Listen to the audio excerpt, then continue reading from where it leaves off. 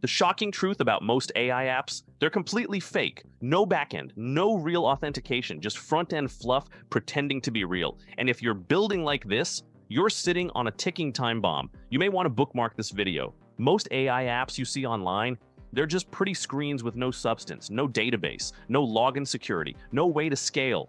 It's like building a mansion on quicksand. Let me show you how to do it the right way, in just a few clicks. And no, you don't need to be some coding wizard. Step 1. Use Lovable.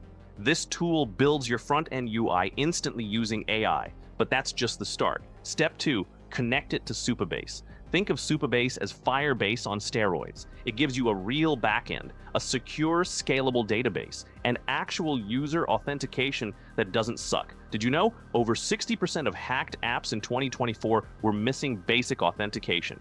Let that sink in. Now watch this. I create a new project in Supabase. Click Create. Boom. Full database plus auth backend ready in seconds. Then I link it to Lovable. Instant integration. Now I'm building a real app, not a toy. This isn't theory. I can literally see my users and data inside Supabase, live. Most devs can't even say that about their apps. Let's test it. I add a task. Make AI apps. It appears instantly. I go into Supabase SQL Editor. Boom. There's the task, stored securely in the database. In just a few clicks, I went from fake demo to real app. And here's the best part. Lovable plus Supabase. You know, no more excuses. You can build secure, scalable AI apps today. Like and follow for more AI contents like this.